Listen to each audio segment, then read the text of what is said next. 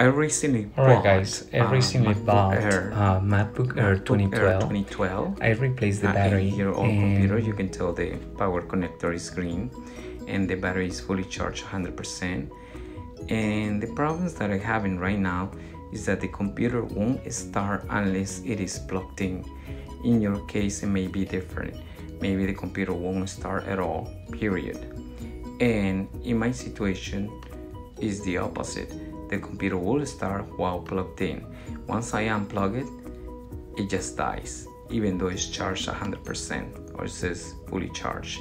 I got desperate, I went to settings to try to get the battery to get drained somehow, but that didn't help. It didn't work at all. So, in your situation, maybe you cannot do any of these things. eh, Maybe yeah, your computer maybe totally dead, and you can use this trick for the 2011 to 2017 Macs, MacBook Air, MacBook Pro. Eh, it might work for you.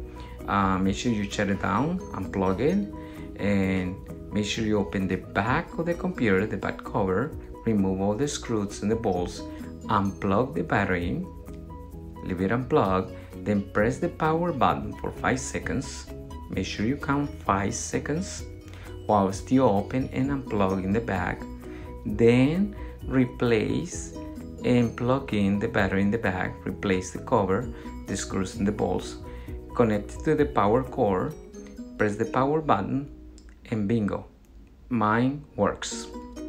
Okay, well, hopefully it works for you. And remember, this is a MacBook Air 2012.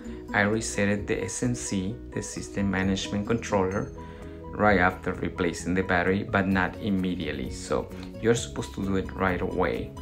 And listen, I'm gonna shut it down in the settings menu here on the Mac. I'm gonna shut it down to see if it starts again. Shutting down. Uh, like I said, let me repeat again. Make sure you unplug it.